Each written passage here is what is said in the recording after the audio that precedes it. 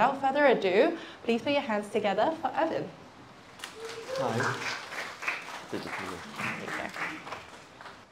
Hi guys. I might just stand. Sorry for being such a diva. Um, Do you want to move that out? okay. Yeah, it's it's morning. I, I just got in. What are we doing here on a Friday morning, eight thirty? Um, are, are you guys going to work after this, or going to yoga, or going home? What, what is the, or is this an excuse to get away from work and just take a half day? yeah, yeah, I've been there.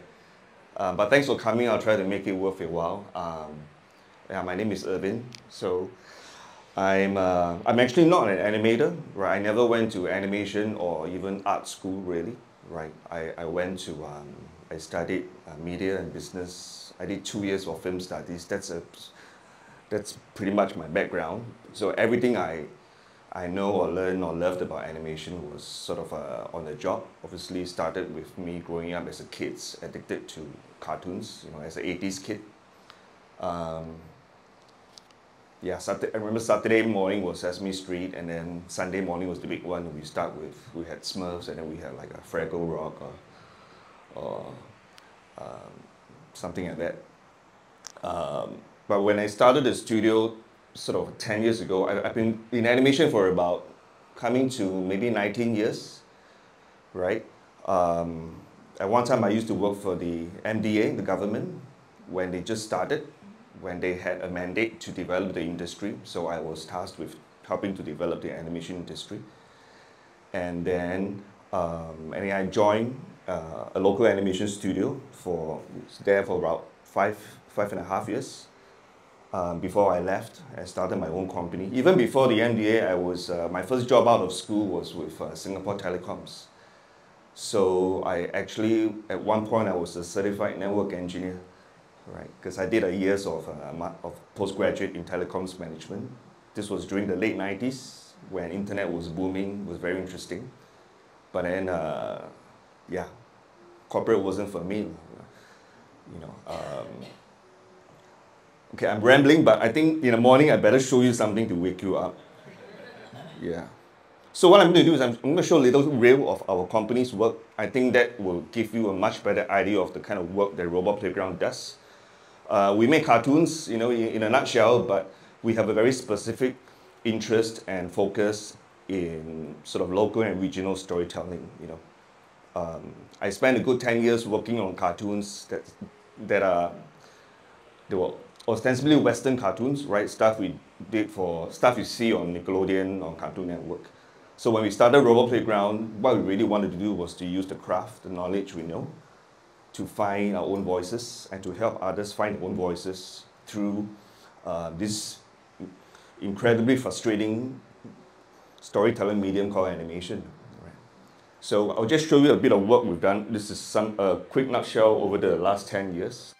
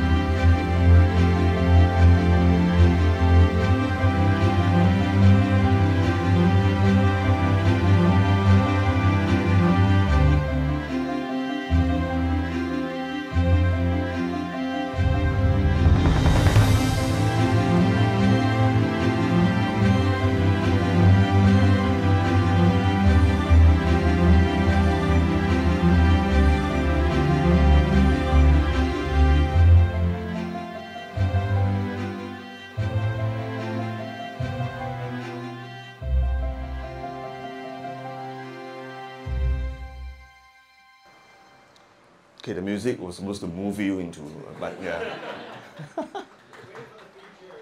That's fine.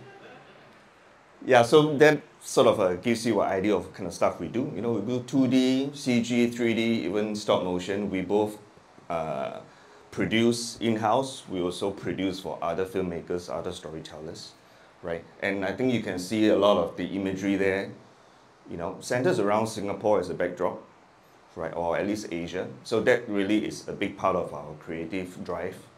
Um, we want to do something that, um, you know, not someone, a studio from the US, from Europe, you know, may not necessarily be able to, to do the, the way we do it.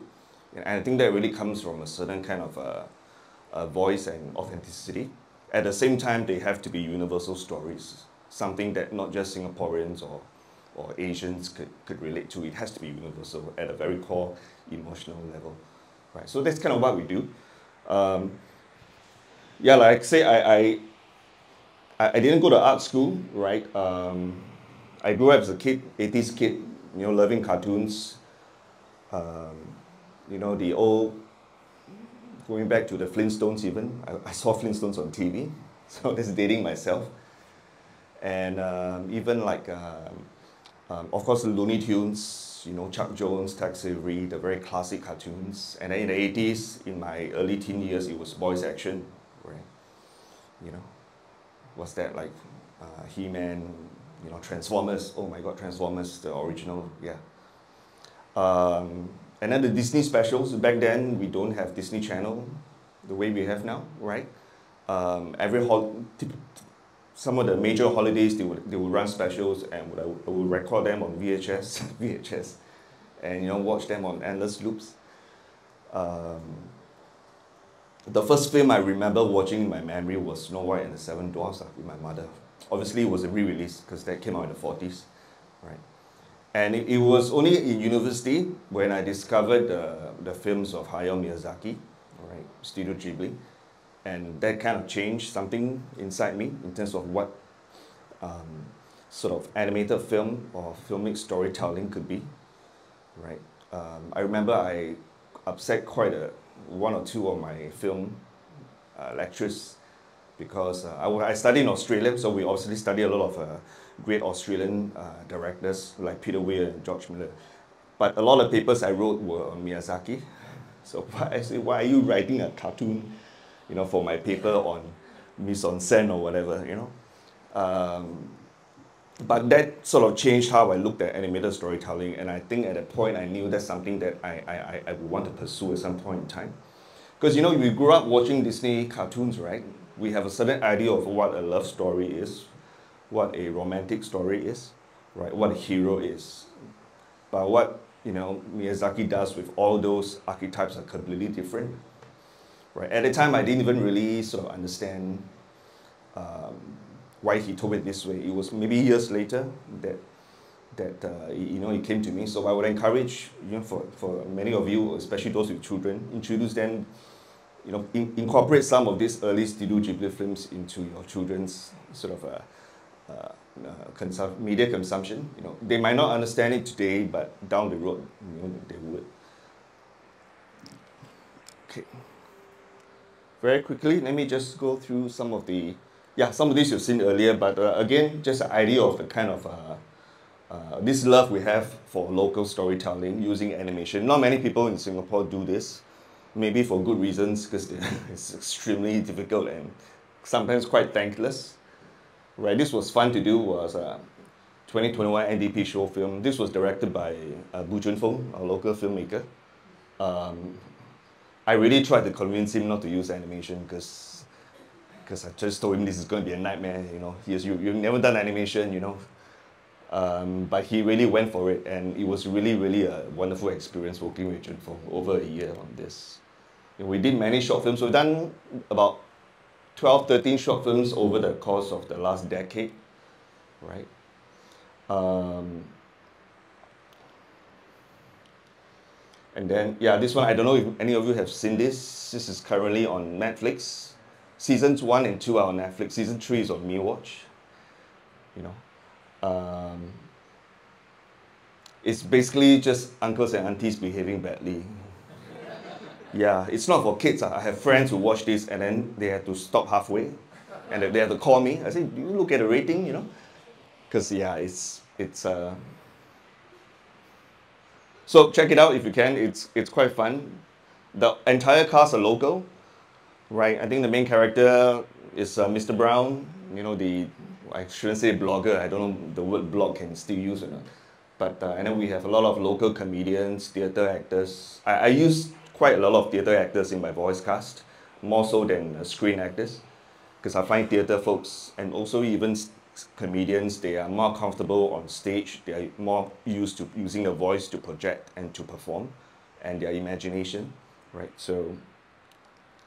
Um, this is a preschool preschool show that we did. Where's what? Uh, we actually did started this with a preschool children's app with a local uh, company called Tusitala. We have out here from there. And then later on, MediaCorp picked it up as an animated preschool series. You know, so we do preschool, we do wholesome stuff, so I can do wholesome stuff also, really, yeah. I can also do auntie, uncle, sex jokes, and yeah. Uh, we do horror, also this is something in development, right? We are finishing a pilot exactly in a week's time. It's based on a book by an American Chinese author. Uh, um, it's called A Banquet of Hungry Ghosts, right? It's the book title. And it's an anthology short film on episode. Each episode is based around a Chinese dish. So I don't know if you can guess this, but this is sweet and sour pork. Right. Now we have hot pot. Right. Uh, dumplings, dumplings.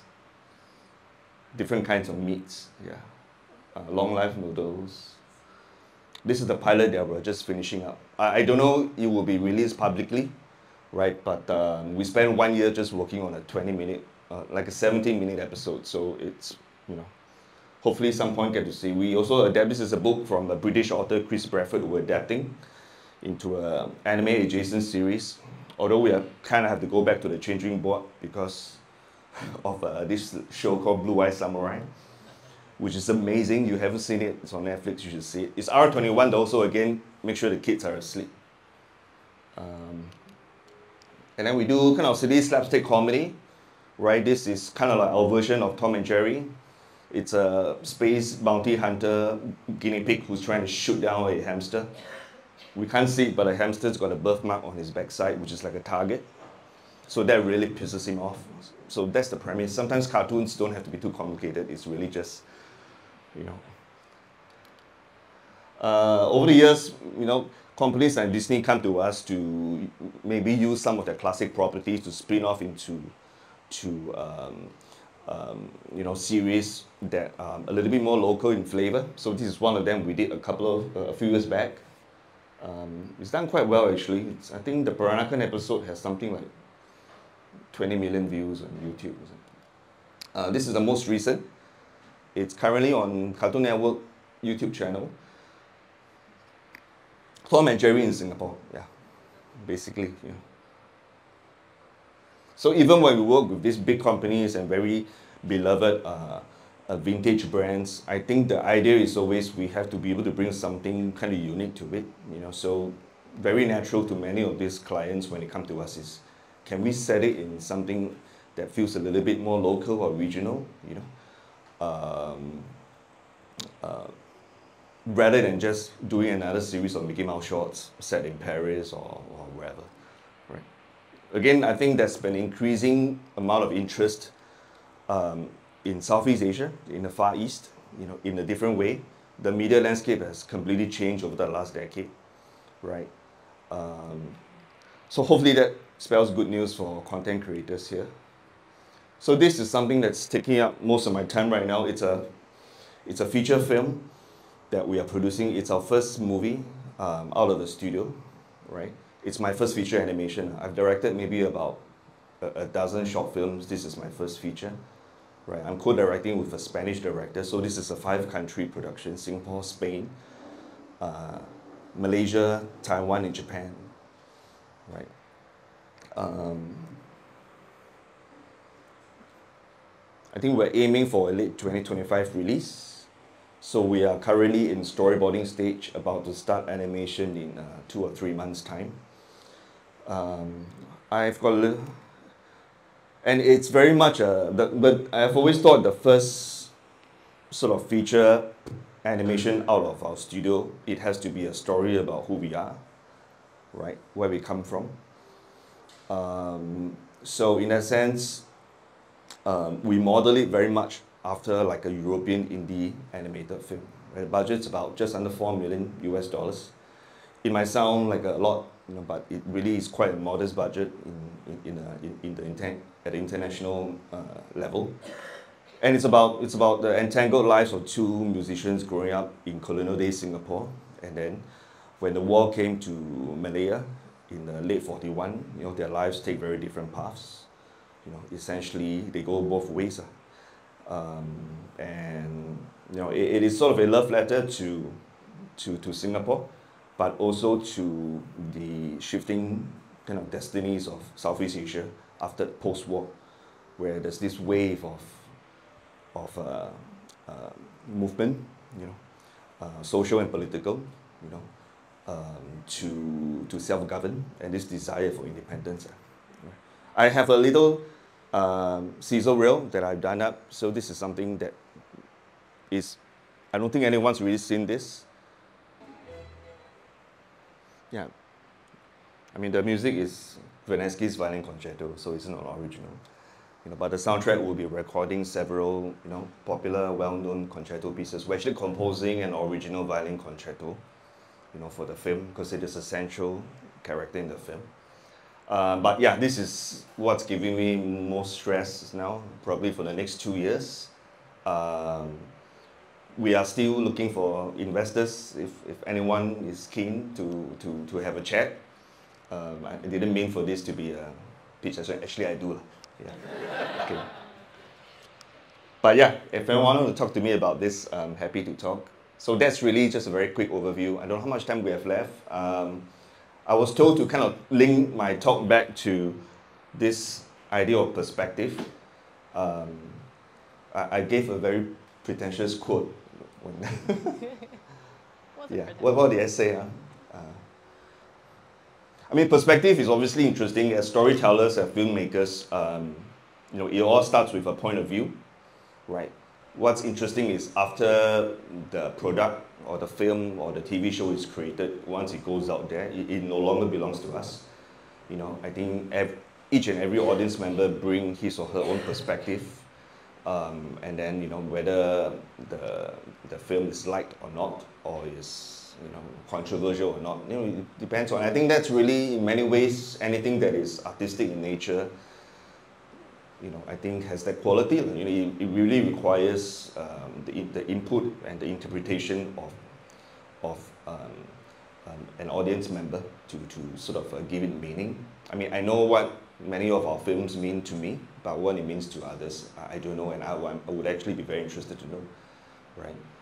You know, even when we draw a storyboard, the first thing we draw often is a perspective lines, you know, you know, to, to sort of uh, to guide the camera. So yeah, I just thought uh, it's interesting that Gwen and team, you know, you know, gave me a call and wanted me to sort of talk about this. Um, so yeah, I think that's that's all I have. Do you want to stay for some questions? Hey? Staying for some Q&A. Yeah, uh, I'd love to take any questions you have this early morning. I think that's actually more a fun kind of a talk. Yeah. So uh, for anyone who was wondering, the so-called pretentious quote that Ervin gave us, which I actually genuinely really love, is perspective is a house with many rooms and windows and basements. And it's true. I mean, in a, in a work like a cohesive film, you know, it, you're meant to look at it as a, as a, in its totality, but it's made up of all of these different components, right? Yeah, and I think it's a house that we continue to build throughout our lifetime. You know, so sometimes you build another basement, you you have a bigger window, you have a smaller window, because I think you either look outward or you look inward. Yeah. You know, for better or worse. And you know, as your house gets bigger and bigger, hopefully it, it gives you a much more fuller uh, perspective on, on, on life. Yeah. You know, and when we do stuff like this, really it's a, I'm not being sort of a, I'm serious, all this is a form of therapy when, you, when you make a film, when you do a TV show. When, when I do, when I write 30 jokes about uncle and aunties, everyone laughs. Something in me is like, a, it's quite cathartic, right? um, especially when the censors pass it, right? Whoa. You know, and then something very sort of a bit more serious, a more bittersweet, like the Vietnamese film is also something very much in uh, how, how I look at uh, um, um, um, stories at this point in my life. Yeah. I'm also actually very curious because there's both an artistic, when you run your own studio, essentially, there's an artistic element, then there's a commercial element to it, right? Where's the balance for you? I don't know where's the balance. yeah, sometimes um, it's true, you know. Um, I mean, like I said, the when, when after we make a TV show or a short film or a film, once it goes out, there's nothing you can do right? So I tell my artists and my staff, you, we want to make a good product, right? Um, but it is actually more important that you enjoy sort of the journey, right? So that even if the film does really bad, whatever, commercially or whatever, you know, you have that, that, that, that memory to, to treasure, lah. because it takes a long time in animation, right? Um, and then on the commercial side, yes, there has to be a balance. I mean, we do many of this. I, I always say, in, for all of you, in some of you in film, you know what I mean. You know, it's a very dysfunctional profession, right? Because you are essentially always asking people to give you money to make your dream project. I mean, in any other kind of why not? Why would I do that? Why would I give my hard money to you so that you can live your dream? But it's what we do right? Um, every project, everything you see here had to be financed. Nothing really came out of our own pocket. I think that is something that I'm quite uh, clear on from day one, you know. Um, um, sometimes we go over budget, but sometimes that happens. But, you know, we, as producers as well, I'm, I'm a producer, you know, it, so much of the work is really um, speaking to different people from different walks of life um, and trying to sell the project as something that they see value in from their own perspective again. Yeah. Right. And then hopefully they can, you know, if they're interested, they can contribute financially or not. Yeah. Yeah. Well, I mean, people pay you because those are beautiful dreams that you have. So we're very happy. Mm. We're very lucky to have your work out there. Thanks. Um, all right, we're going to open it up to the floor for some questions. I'm sure there are quite a few from you guys. Uh, but as an extra little incentive, I have three 10% off vouchers sponsored by Crane. So the first three uh, question askers will get one each. All right, who wants to get the ball rolling? And I'll, I'll bring the mic to you, hold on. Hi, well thanks for this um, interesting presentation. I really, really love what you're doing. Um, I'm a digital artist and I would like to have your take on um, AI. I mean, I suppose wow, it's 9 a.m. Okay. I know. it's like a two-footed tackle. I, um, I, I mean, I, for myself, I went through a huge depression for six months. I mm. didn't uh, create anything once that took him out, but it's evolving, and uh, I suppose even the moving picture is going to be soon um, possible just with a few prompts. Just want to know your, your take about it. Do you feel threatened by it, or do you embrace the journey of creation, or um, like, are you planning to employ some of the tools, or just want to know your take on it? Okay. yes, I have uh, a lot of emotions about it, right? As many people in our industry has over the last, even the last few months, right? When this Sora just came out, you know, a lot of people, including our investors, started to call up, right? Um, I suppose that's natural. It's a bit knee-jerk as well. Um, so yeah, there, there's so much discourse going on online about this. Um, as a as a business owner, right, and as a, I mean, the, the first and most important thing for us when I tell my staff is, you, you, you know, um, tools are tools, right? We may, and in fact, we have already started to use a few right? Um, mostly in the development and ideation process, right? So for me, at least at this point, what the artificial intelligence has to do is to do something that, because you know you can we can easily talk about one the AI tool could replace 10 artists, right? So the way I look at it is it has to do something that even the 10 artists couldn't do. You know, I think that's the definition of sort of a, a really useful tool, right? For example, um, and if I could split up these 10 artists into three different small cell groups and be able to let them use the tool, right? What we found is at the end of the day, the artists have to use their creative judgment. I mean, this just happened a, a week ago, right? I had an artist who did a, a style frame, like a, essentially a piece of art for me, and I wasn't happy with it, right? So I put it into Midjourney, the same piece of art. I gave a few prompts, and it generated something that I feel is much stronger in terms of the perspective, the camera composition, right? And then I did, and you know, that piece of work took one week. So what I told him, the, the artist was basically, you know, um, you have to be able to use it as a tool, right? Your first sketch, if you don't feel it's strong enough, first of all, you have to exercise your judgment. This is probably not good enough for Ervin, right? And then find ways, and then if you can generate three or four options, and then from there you build on, right? You, you, you know, you, you essentially have or half the time that you're working on this piece, you know, so within a week, I could actually have, he, she could have actually given me three pieces, right? Um, it still wouldn't be possible if she didn't exercise her creative judgment, her artistic eye, you know. Um, but it's also got to do with personality. So what we, and even in my studio, there are many artists who feel very insecure about this, and understandably so, understandably so, right? Um, so it, it is a process, but we are trying to to, uh, I mean, I'm trying to understand more myself, but also make, make sure my artists understand that this is something that it's a, it's a different kind of animal where we, have, we want to try to, to, to kind of tame, if you like. But a lot of it is sort of, meant, sort of uh, our, our mindset. And what I will always tell them is nothing we ever do with AI will, should be or will be at the expense of our creative and artistic soul right? I think that has, still has to be.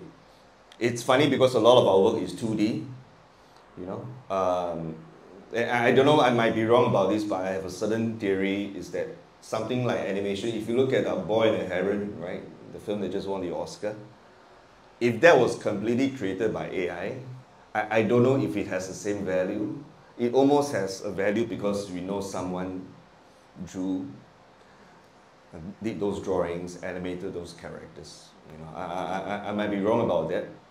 Um, my main fear about AI, frankly, is more the market side, mm. meaning to say that the market will be flooded with mediocre stuff, and many buyers and consumers, they do not care, right? And I think the first market to be hit would probably be the preschool market. So the children will be the one watching mediocre stuff because it activates a zombie gene, you know and then the parents will say, just watch it, just watch it. don't disturb me, right? It's very tempting, right? It's almost like a magic power. You give the iPad, the, the, the child shuts up, you know. I don't have ch children, so I don't know, but I, my, my sister and my friends, yeah. Um, so that's, and, and with that, of course, that's going to affect the market. Prices will be forced down. Yeah, but that's sort of my most immediate fear right now. Yeah. And then the tools, we just have to see how they evolve and uh, continually try to be on top of it in terms of the value chain. There's always somewhere you can go further up. So I think it's time for many artists to also to, to evaluate uh, uh, you know, their role, how much they can, they can, they, they can grow. Yeah. Thank you. Wonderful. All right, second one? Yeah. I really love how you shared your story about how you enjoyed Hayao Miyazaki, you know, writing papers of it, because I can really see that in your work, and it really reflects that you're on this journey to tell a beautiful story. So um, I just wanted to share that with you. So my question about perspective is that you know, um, as we journey through um, our careers and our work, uh, we we kind of like um, get into a zone of understanding different people's perspective, and sometimes as an individual, mm. um, you may I don't know, uh, for me, I, sometimes I come across that, you know, someone else has a different perspective that is not in line with my way of thinking, and I just wanted to find out how do you overcome um, and try and understand them in a different perspective? Because it can be something that you are totally not agreeable with, but maybe there's some truth in it, and what's your journey like for that kind of situation? Thank you. Well, I mean, it's basically like conflict resolution class. Yeah, we often have, actually internal conflict is a little bit trickier for me. You know, unfortunately or fortunately, because more often than not, whether I'm the director or I'm the boss, right, um, I tend to have the final say, but that's not healthy, you know, quite often. So actually the internal conflict is, what do I take on from everyone else? How do I pick and choose, right? So the first thing I always tell my staff is when they, first of all, when we are in the, when we're discussing whether it's story or designs, you know, um, the, the, the kind of rule is there's no ego in the war room, right? Even though there is, you kind of have to suppress it, especially for me, right? Um, what I own, the only thing I, I, I ask for from my artists is if they say this is not good, you need to give me an alternative solution to back it up, even if it's wrong, or you, you know. So you, essentially, it's constructive criticism, right? So if you say you disagree, you need to be able to explain why and what might make it better in your view. Yeah. Otherwise, there's nowhere to go. Otherwise, you're just giving me problem and not even, you have to be part of providing a solution, usually as a group, right? Like this character, I think she should have blonde hair, so why? Right, and then, you know, she should, the, whoever suggested that should be able to provide certain references from different anime, cartoons, or film, or have story reasons why they should be blonde hair or whatever. Um, I think that quite often conflict happens because there, no one else is offering the right solution or there aren't enough options on the table for us to really look at the, the problem objectively. And, you know, so we, we kind of talk ourselves into, into a dead end. You know. Um, and then sometimes you kind of just have to walk away and take a break and then come back again. Um, like directing a film like Violinists is a big project, it's five country, right? Um, I have to make um, a lot of a lot of decisions, many of which I feel very insecure about, right? And should I just take someone's suggestion? Is this better? Um, so I think um, ultimately, typically there should be sort of one decision maker. You know, I think so much falls on this person to to to exercise that right. You know, uh, uh, in, in the right way. So, yeah, is that anything close to giving. I, I enjoyed your version of it. Mm. I enjoyed how you shared about, um, what was it that you said about um, how to suppress it because I think that's something that I'm learning as a journey. So mm. I just like that you reminded me of it. Yeah. yeah. Yeah, maybe suppress is not the right word, right? Because it means um, there's something it's pushing against it. You know, I think uh, it, it's to, it's to it's to come down, right, and to sort of sort of open your mind up a little bit more. Yeah, because yeah, ego is a it's a funny thing, right? It depends on times of day. You know, like I'm not a morning person, honestly. I'm very grumpy in the morning. Super so vulnerable I, right now. yeah, so I, I, don't have production meetings in the morning, you know, because mine is not clear. Like I just want to get out of the room, right? Um, yeah, I think ultimately whether it's the decision maker or anyone else, is you know, it's self-awareness and that comes with, with time and experience and, and having lived some kind of a life. Yeah. Thank you. I, Hi. Thank you very much for your talk. Um, you mentioned before that um, something about censorship and uh, how happy you are when uh, production uh, passes the censorship. So is that something that you have to deal with uh, regularly? Is that something that's restricting, uh, you feel is restricting the creativity? Uh, yes, in Singapore for sure. Actually, anywhere else, there's, everywhere there's censorship. Even we do cartoons for Disney and, and uh, Warner Brothers, they have uh, standards and practices, S&P. You know, actually they go to the US and come back. There are different levels. Uh, that it, it's a different level of censorship, right? Like MediaCorp has definitely a certain kind of book that they that they um, they, they run the rule by, right? Uh, with downstairs, for example, I mean like Singlish, is actually a censorship issue. There cannot be too much Singlish. However you define that, You know, to me, it's a little absurd because it's how we talk. It doesn't mean I speak Singlish. You know, my children is to have bad English. But that really is a very kind of that's how that's how they think at some level. You know, what I found interesting is um, you, you you can't win those wars, so you don't fight them. You know, you have to be creative to dance around the, the, the issue. And you know, the censors actually appreciate when you're being creative and dance around it, so they just turn one eye maybe. You know, so they want you to make a show, right? But they have to run, they, they have a rule, set of rules they have to go by. Um, so when it comes to a lot of the sexual innuendos, if you're clever about it, you know, sometimes I'm even surprised this, this, this went through. Um, and then with standards and practices at a more international level, it, quite often, particularly with children's shows, it's, it's, it's to do with like things like violence. You know, Tom and Jerry, like Mickey Mouse, Mickey Mouse can never be sarcastic. Because it's, uh, yeah, you can't be sarcastic. So sarcasm, uh, violence, or, you know, because the kids are typically 6 to 12 years old or even lower. You Um, so at the international level, you know, they, they do have to adhere to that. Um, but it comes with experience once we have written enough or produced enough of these shows. At the end of the day, I would say they, they, they want really good and creative shows. So it, it's not really a bad thing. It just pushes the creator to, to work a little harder. Yeah, although it can be frustrating. Thank you. Yeah.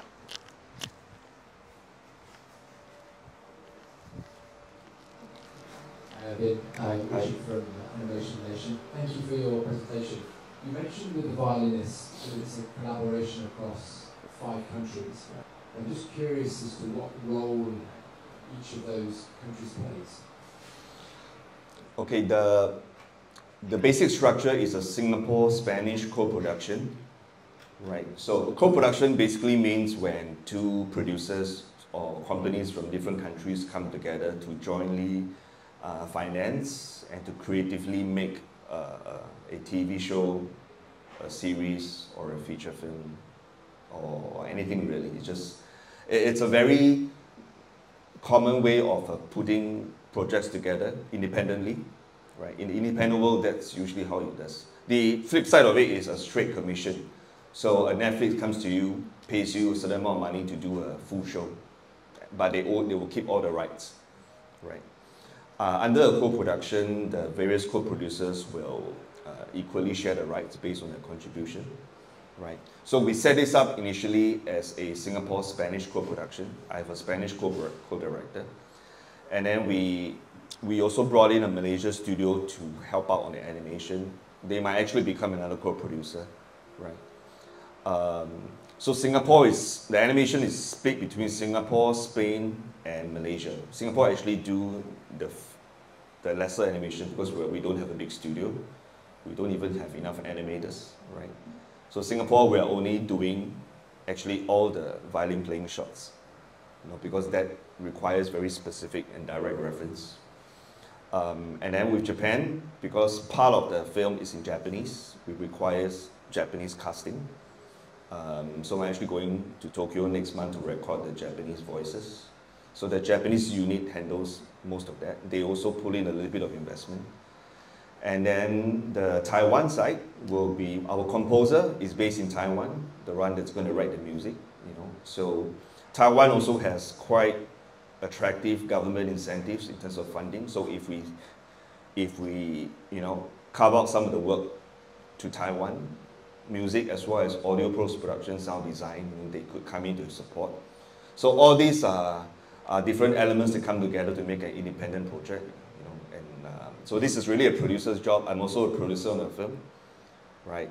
But I found that uh, this is not related to your question, but it's ultimately conflicting between a director and a producer. So I'm looking to start to let go of some producers' jobs. Yeah, but it's a, quite a massive operation, uh, five countries. So, but that's how the work is split up. All right, last question, Michael.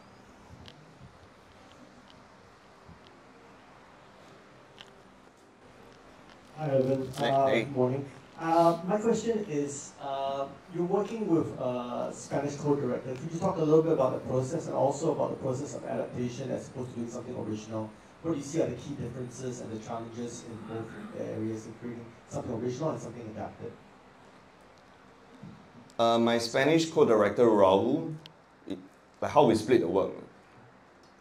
Um, because I co-wrote the, I, it's my story, I co-wrote the script, so I think by and large Raul gives me veto on the story. Right, Raul is uh, he's he's really more an animation director. I mean, he's a very very he's kind of almost like a like a Hollywood legend, right? He he's, he's in his sixties. He's a very interesting, nice, uh, nice gentleman. He animated the genie in the Aladdin, right? And many of the what we call the uh, the golden age Disney animated films, Pocahontas, you know, Hercules, and uh, Fantasia, right? So I brought him on really to be the animation director, you know, to really oversee the entire animation. Uh, but because of the Spanish co-production, he has to be a co-director, uh, which I'm happy to do that, to share credit with him. So, I mean, basically that's how we kind of split the work, right? In the pre-production stage, we review everything, right? Um, storyboards, and then going, once you go to animation, he, he will be a lot more focused on animation directing, right? um, originals and adaptation, we do both, right? Um, from a commercial standpoint, it is usually easier to, to, to adapt. So we are always on the lookout for interesting books and IPs to option to develop as well, right? Some of the projects you just seen are optioned from existing literary materials. Um, just because there's already a, a, a, a IP that exists in the market right? Might be even a very popular book. So from a commercial standpoint, that makes the, the, the project easier to get finance and to take off and to find buyer, right? Um, of course, when you adapt something, the whole idea is to find a new audience for the book. It's not to please the fans of the books, right? Um, you may not want to anger them too much, but primarily they're not really the audience. The audience is a new one. It's a screen audience, right? So I think that is something always uh, we sort of the first rule. There's, for me, there's no point adapting something so completely faithfully, uh, other than show that it can be done technically, right? Um, and originals are, you know, they're, they're very tough. It's a very tough market for originals now across the media landscape, you know, unless you are a famous person or, or a big star.